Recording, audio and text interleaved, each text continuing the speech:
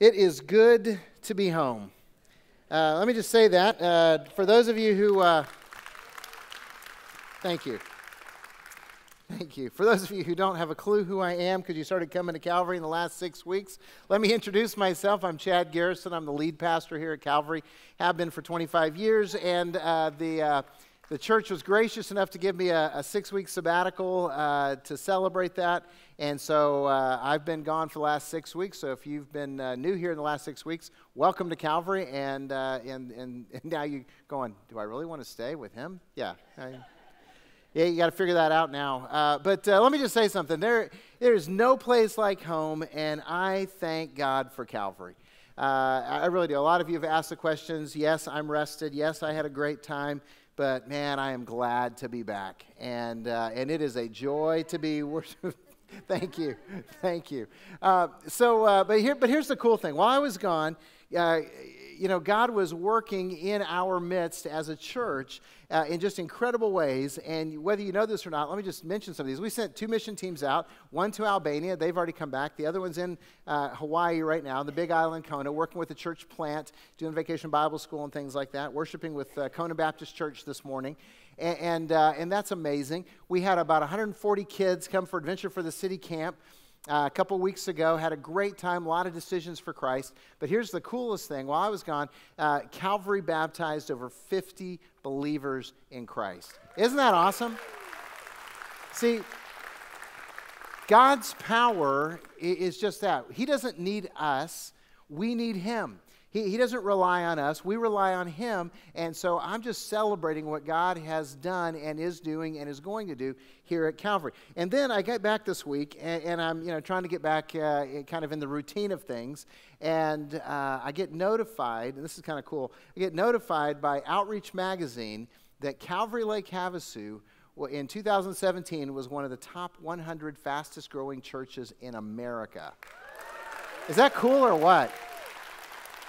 And uh, I mean, people don't even understand how we live here, uh, and yet God is doing these incredible things uh, and, changing lives in incredible ways. And I am thankful that He allows me to be part of the ministry of Calvary. And I'm thankful that uh, I get to come back and, and share with you today. Hey, we're continuing our Heroes series today. And I'm going to invite you to take your Bible or your Bible app and turn to 1 Samuel 17. 1 Samuel 17. If, uh, if you don't have a Bible with you, grab one of those in the seats around you and turn to page 283, 284. That's where we're going to be today uh, as a text. And by the way, if you need a Bible, you want to read Scripture and you don't have a Bible, then take one of these with you. It is our gift to you. We want you to have the Word of God and read the Word of God because we know if you do that, God will change your life. Uh, hey, you know, pretty much everyone loves an underdog. You know, in the world of sports, everybody's rooting for the underdog, of course, unless you're a fan of the New England Patriots or Alabama Crimson Tide, uh, in which case you don't ha- understand what underdog means. But, uh, but most people love underdogs. So, what is your favorite sports underdog moment that has uh, occurred in your fandom? Uh, if you've got one, share it with the person sitting next to you. Ready, set, go. Favorite underdog moment in sports history? So there's not a lot of conversation going on. So if you're not a sports fan, I get that. But uh, my favorite sports underdog moment came in the 1983 NCAA basketball tournament, March Madness, uh, when the, the North Carolina State University Wolfpack took on the University of Houston Cougars. Now, here's the, here's the setup for this, this game because uh, it was supposed to be a mismatch. North Carolina State wasn't even supposed to be in the tournament. They qualified by winning their conference tournament miraculously. And then uh, in the tournament, they trailed in, in the nine games, conference tournament and NCAA tournament, they trailed in six of the nine games they played up until the last minute of the game. Uh, their, their roster had one guy who in the future would play in the NBA. Wasn't going to be a star or anything, but he was a player. The, the Houston Cougars team was littered with NBA players, including two future Hall of Famers. On paper, it was a mismatch. All of the news outlets, ESPN, it's a blowout. It's not going to, you know, there's no chance for North Carolina State. And of course, they won the game 54 52 on a last second miracle shot put back uh, by a guy that nobody remembers his name, Lorenzo Charles. and so, uh, that's my favorite uh, underdog moment, it was the classic David versus Goliath game. Uh, so today we're looking at the story that started the David and Goliath metaphor, the story of David and Goliath. That's right. Uh, and, so what I want to do is let me just kind of recap the story, and then I want us to dive into it and look at some of the details. So if you're familiar with this story, or if you're not, here's the setup in 1 Samuel 17. I encourage you to read this at home later on. Uh, the Israelites and the Philistines were enemies, and so they went to war against each other. And the way they did that was they lined up on opposite sides of a valley, uh, and they both had the high ground, and they waited for the other one to attack. And of course, neither one wants to attack uphill. And, and so what ended up happening is the Philistine champion, a guy named Goliath, who was huge. Okay, now depending on how you translate the biblical measurements, he was somewhere between six foot six and nine foot six.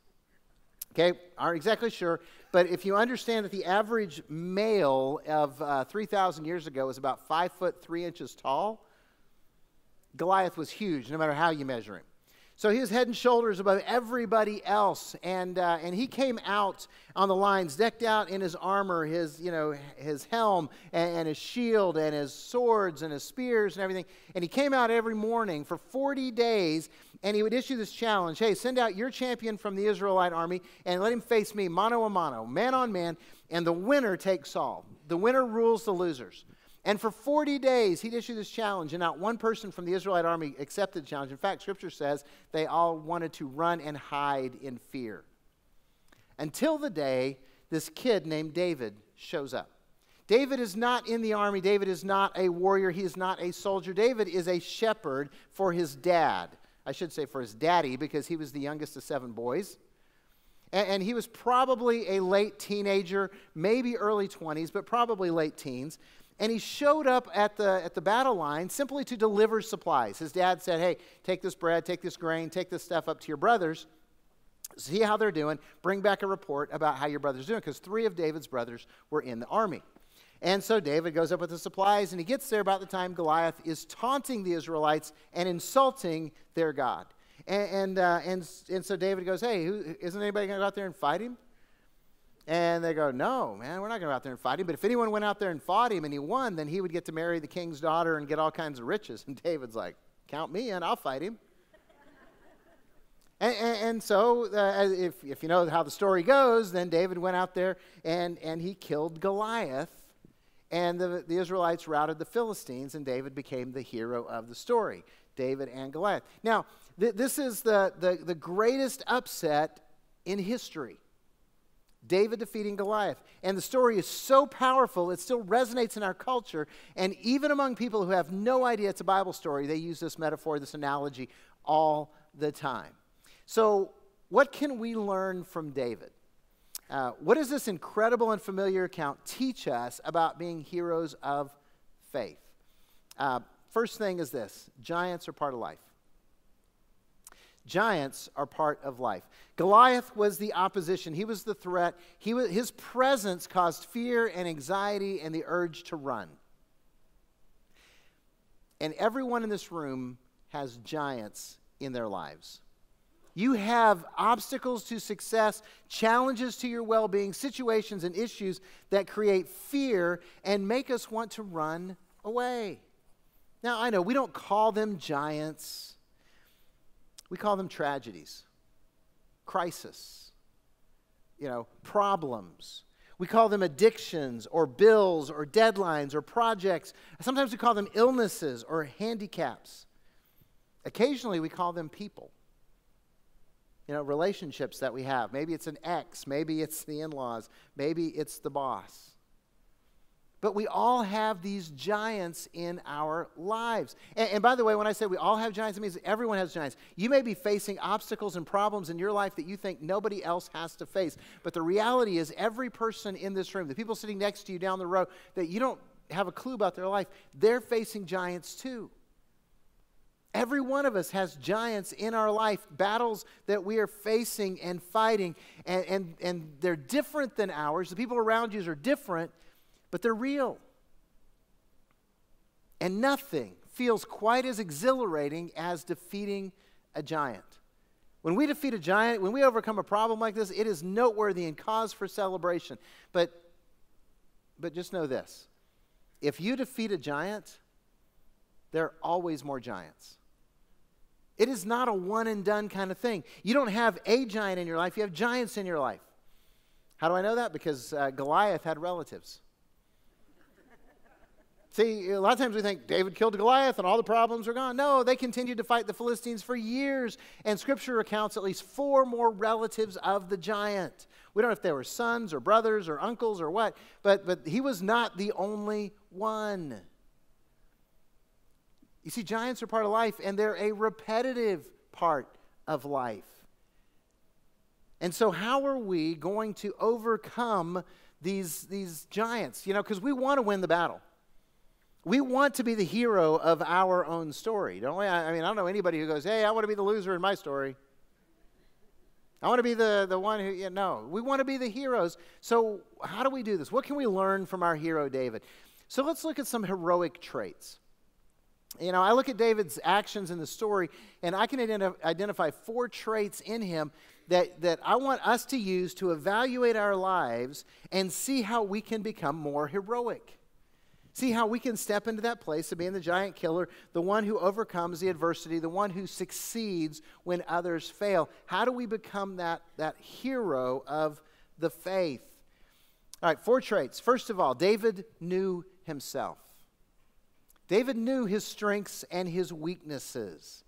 Uh, I want us to look at pieces of the story. So we're going to kind of bounce around a little bit. Verses 38 through 40. 38 through 40. Now, David has already volunteered to fight Goliath, and he's having a conversation with the king, Saul. And so here's how it goes. Then Saul, the king, clothed David with his armor, and he put a helmet of bronze on his head, and he clothed him with a coat of mail. And David strapped on Saul's sword over his armor, and he tried in vain to go, for he had not tested them. And David said to Saul, I cannot go with these, for I have not tested them. So David put them off. And then he took his staff in his hand, and he chose five smooth stones from the brook and put them in his shepherd's pouch. His sling was in his hand, and he approached the Philistine. David knew himself. He didn't try to wear King Saul's armor and use his weapon. Now, uh, understand that at this day and time, they didn't, you know, outfit the people in the army with all the same equipment. Uh, every man kind of showed up with his own stuff, and Saul was the king of Israel, so he had the best armor in the country and the best weapon in the country. And, and, uh, and he said, David, you're going to go fight the, the giant here. Put on my armor. It's the best armor. Problem was, it didn't fit David. Saul was also the tallest person in Israel, and David was a kid, you know, a teenager. And so they put the armor on David, and he's like, I can't do this. I can't even move. And, and, David realized that, and he realized, hey, I don't want to be a warrior in the mold of somebody else's idea of what a warrior is. He was true to himself. He didn't try to be somebody else, he didn't try to imitate somebody else. David decided that he was going to be who he was, and he accepted that, and he was successful at it. Maybe that's why David wrote Psalm 139. And by the way, I'd encourage you, write down Psalm 139. Go home sometime this week and read that. Uh, it's a beautiful psalm. And in the midst of it, David says this I praise you, God, for I am fearfully and wonderfully made. Wonderful are your works. My soul knows that full well. I praise you, God, because I am fearfully and wonderfully made. David says, Look, I know who I am, and I praise God for him making me. You see, God made you, God created you to be you. He didn't create you to be somebody else, He created you to be you. And, and, and, he loves you and he's gifted you and, and he's made you wonderfully. And guess what? He created you to defeat giants. Think about that. He created you to win the battles, to be a hero. So, are you okay with you? Are you okay with you? How God made you, who God made you to be? Can you acknowledge your flaws, your weaknesses, your failures? Are you okay with you? Can you identify your, your strengths, your giftedness, that your influence on others that God has, has given you? You see, I know some people, they are great at identifying their flaws. They can spend all day telling you about their flaws and their weaknesses and their failures, but they struggle to identify one single good thing about themselves. They struggle really to honestly praise God and say, I am fearfully and wonderfully made. On the other hand, I've met some people who can't identify any of their flaws and they think they're God's gift to this world. Look, both people have issues there. Can you see both your flaws and your strengths? You see, heroes know themselves and they're honest about themselves and who God made them to be. So, first of all, David knew himself. Heroes know themselves. And secondly, David leaned on real life skills and experiences. Look at uh, verses 33 through 37. Uh, again, David has just volunteered, and King Saul said to David, You are not able to go against this Philistine to fight with him, for you are but a youth, and he has been a man of war from his youth. But David said to Saul, Your servant used to keep sheep for his father. And when there came a lion or a bear and took a lamb from the flock, I went after him and struck him and delivered it out of his mouth. And if he rose against me, I caught him by his beard and struck him and killed him. Your servant has struck down both lions and bears, and this uncircumcised Philistine shall be like one of them, for he has defied the armies of the living God. And David said, The Lord who delivered me from the paw of the lion and the paw of the bear will deliver me from the hand of the Philistine. And Saul said to David, All right, then go and God be with you. Look, David was not a soldier, but he was not a novice either. And for the record, David was not harmless. David had fought and killed lions and bears. That's a pretty impressive job skill that translates to being a warrior. I don't know if you guys think about that, but, but it is. And for the record, David went into battle armed and lethal.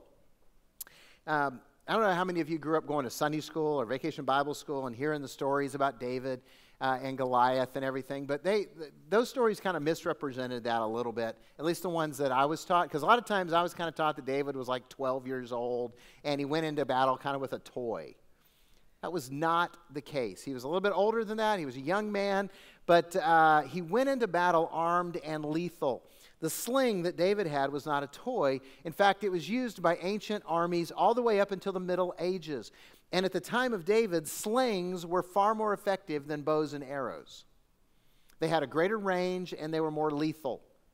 The, the smooth stones, let's talk about that. These were not pebbles that he picked out of a stream, like, oh, how cute. No, the stones that they used for slings were between the size of a golf ball and a baseball.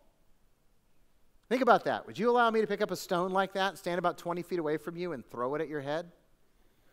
And I have a weak arm, and you still wouldn't let me do that because it would do damage. And, and David isn't throwing it with his arm, David is slinging it out of a sling at velocity, and he's practiced at this because he tells us, hey, I've already encountered bears and lions. Now, think about this. He's done this with a staff and a sling kid is not messing around. I mean, some of you might go, hey, I'll take on a bear or a lion if I've got a high powered rifle and a scope and distance. And he hasn't done, he didn't have any of those things, and he still took it on. I mean, he was incredibly qualified to defend himself. So he went into battle prepared, not the enemy's way, but his way. But he was prepared for battle. In other words, heroes are prepared for battle. Here's the reality God has been preparing you to be a hero your entire life. All of your experiences, all of your victories and your defeats have given you wisdom and understanding for the battle. And if you're a follower of Jesus Christ, if you believe that Jesus is the Son of God, Savior of the world, you believe that He died on the cross to pay for your sins and was raised from the dead, and you've made a commitment to follow Jesus with your life, then, then uh, you are in a battle. Scripture says that our battle is not against flesh and blood, but it is against the spiritual forces of evil in the heavenly realms.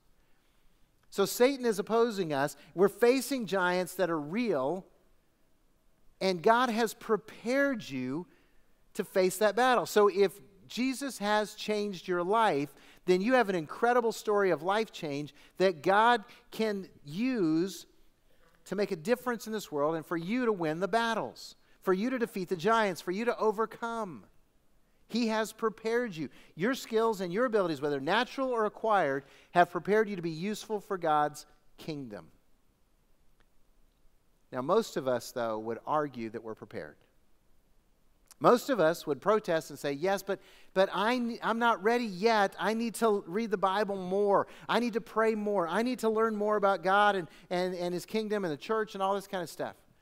Okay, look, I'll agree with you in part. All of us need to read the Bible more. All of us need to pray more. All of us need to learn more. But here's the reality God wants to use you right now to be His hero and He's prepared you for that. And some of you have all kinds of experience and, and, wisdom that you've acquired through the battles of life, the scars that you've earned, and God eh, really wants to use those to build up His kingdom in ways that maybe you've never thought about.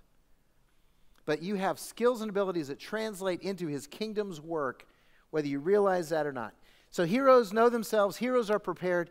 And then, thirdly, David trusted God's power instead of people's expectations. David trusted in God's power, not people's expectations. Look at verses 45 through 47. Then David said to the Philistine, You come to me with a sword and with a spear and with a javelin, but I come to you in the name of the Lord of hosts, the God of the armies of Israel, whom you have defied. This day the Lord will deliver you into my hand, and I will strike you down and cut off your head, and I will give the dead bodies of the host of the Philistines this day to the birds of the air and to the wild beasts of the earth, so that all the earth may know that there is a God in Israel, and that all this assembly may know that the Lord saves, not with sword and spear, for the battle is the Lord's, and he will give you into our hand. Do you know what that is? That is both a beautiful declaration of faith in God and prophetic trash talking. I mean, that's what, he's, that's what he's doing. I mean, Goliath has already insulted David, made fun of him being a boy, made fun of him not having armor and swords and stuff, and, and, and insulted the God of David. And David just goes, You don't get it. God is going to defeat you, He's going to use me to do it. And uh, David trusted God. He, he was prepared for battle, he knew himself, but ultimately he trusted God's power. Now, everybody around David expected him to fail. Um, you read the account, David's brothers did not think highly of him, and they didn't expect that he was going to succeed. The, the soldiers on the Israelite side who'd been afraid and, and hiding for 40 days didn't think this kid's going to succeed. King Saul, I, I don't believe, thought that David was going to succeed. You know, I, think he was already working on his excuses so that when Goliath killed David, he'd go, hey, he's really not part of my army. He's not even a soldier here. Just some idiot kid who showed up. I let him go out there and, and just to entertain. You know, I, am sure he was going to, you know, renege on the deal and say, ah, we're not serving you just because you beat a kid. And, and I say that because Saul didn't know who David was. He met David, he gave him his armor, David gave it back, he knew David's name. But after David killed Goliath, you know what he asked? Whose boy is that? What family is he from? He didn't have a clue. He's like, holy cow, I got to figure out who this guy is. I got to reward him now. Goliath expected David to fail. He mocked him, made fun of him. He was insulted that David came out to fight him. Nobody expected David to succeed, but David didn't listen to them. He trusted in God's power, not people's negative perspectives if you and I want to be heroes, we have to focus on God's power, not the naysayers around us. If you're going to be a hero, you, have got to focus on God and what He can do, not what people tell you God can't do in your life and through your life. Um, honestly, I've been told numerous times what God can't do at Calvary. Uh, in 1993, uh, I, I was told we can't have three good financial years in a row and uh, by the chairman of stewardship who was resigning because he didn't want to oversee a sinking ship. And we just finished 25 years of god providing enough resources. You know uh, yeah. In, in, in 1998 we were in the process of building the sanctuary over on mcculloch that we worshiped in for about 16 years. And, uh, and, and somebody told me you'll never finish this building we were building it with volunteers. And they said, oh, you'll never get it done. It's just gonna, it's going to be a monument to failure. I guess they were wrong. 2003 had uh, one of our leaders in the church leave the church when we bought the property here at Sweetwater. Uh, and his reasoning was, you'll never pay that off, much less build on the property. Really? And then in uh, 2009, we're getting ready to start our Saturday night service, and I had lots of people tell me, you know, a Saturday night service isn't going to work. You know, it's not going to work. Last night, 5 o'clock. It's 122 degrees when I pull into the, the, the dirt behind the building. And we had over 300 people worshiping God here in the dead of summer. Yeah. See, those are just a, a, few of the times that people say it's not going to work. God can't do that. You're going to fail. And, and they never say things like, God can't do that. They just tell you what, uh, what you're doing that God's leading you to do isn't going to work. And, and so here's what I realize is going on in our lives You've got people around you that Satan is using to speak negativity into your life, to try and tell you you're going to fail, you can't do it, God can't redeem, you can't overcome, all that kind of stuff. And, and, what I'm here to tell you is are you listening to them? Are you trusting in God's power? That, that God really can restore and heal your marriage. That God really can redeem your failures. It doesn't matter how you've messed up, God can redeem that and then turn around and use you to heal other people. Eh, that, that God really can use you to make a difference in His kingdom, in the lives of other people. That God really can set you free from your addiction or your habit. We've got a ministry on Monday nights full of people who celebrate the fact that God sets them free. If you're, if you're struggling with that, you got to check it out. And, and, and you've got to, you know, there are people all the time who are telling you, you know what, you'll, you'll never really lead your family or your friends to faith in Jesus Christ. And, and here's the reality you can listen to them and give up, or you can listen to God and be a hero, but you can't do both. And David was trusting in God. He's like, I don't care what you guys say, I know what God can do. And so, my question this morning is Are you focusing on the power of God, or are you listening to all the excuses to why you can't succeed? Because God's power is enough.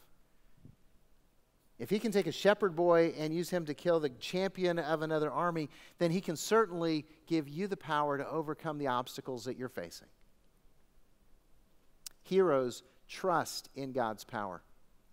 And then the fourth thing we see in David's life that is a, a heroic trait is that David acted in faith. Continue the story, verse 48 says, When the Philistine arose and came and drew near to meet David, David ran quickly toward the battle line to meet the Philistine. And David put his hand in his bag and took out a stone and slung it and struck the Philistine on his forehead, and the stone sank into his forehead, and he fell on his face to the ground. So David prevailed over the Philistine with a sling and with a stone and struck the Philistine and killed him, and there was no sword in the hand of David. Now, then David ran over to, to, Goliath where he had fallen. He took Goliath's sword, cut Goliath's head off, and then the Israelites defeated the Philistines because the Philistines all got freaked out. Uh, but here's the, here's the thing David acted in faith. Now, he volunteered, he declared victory, and then he went into battle and actually won the victory. David acted in faith. You know what I've come to realize? Passive people never kill giants. Spectators never defeat giants. Critics are ineffective against giants. Heroes defeat giants. Heroes defeat giants. And notice this David volunteered. He didn't wait to be asked. David volunteered. Nobody's going to fight the giant? I'll fight the giant. I'll, I'll do it. And, and here's the thing if David hadn't volunteered, no one would have ever asked David to go fight Goliath. I mean, heck, he was a delivery boy, a shepherd. He wasn't a warrior. He wasn't trained. He wasn't equipped. He didn't have all the stuff that, that they thought he needed to have. Nobody would have ever asked David to go and be the hero. David didn't let that get in the way. He volunteered to go into battle. See, I believe that we have hundreds of potential heroes in this room right now, and some of you are waiting to be asked. Some of you are waiting to be asked. Some of you are waiting for a sign from God. Some of you are waiting for, you know, more time to magically appear on your calendar. Some of you are waiting for, I don't know, you fill in the excuse.